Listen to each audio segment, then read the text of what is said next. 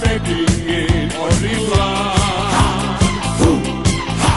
Kiinalainen väki joutui paniikkiin torillaan.